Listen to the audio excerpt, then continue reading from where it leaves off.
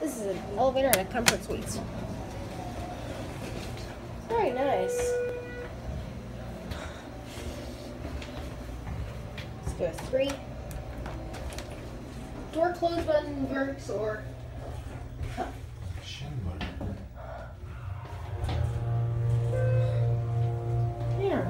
Lovely. Very fast for a hydraulic elevator.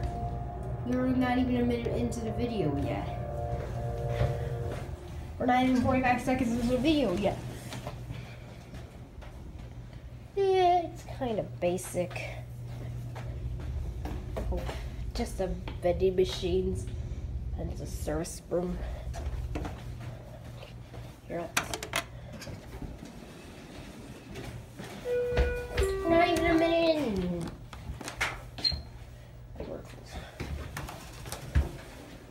Is that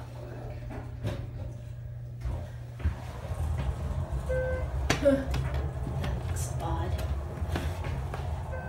And huh, there's a key switch, but now the key switches are there, not down there. Background stuff. Fire instructions.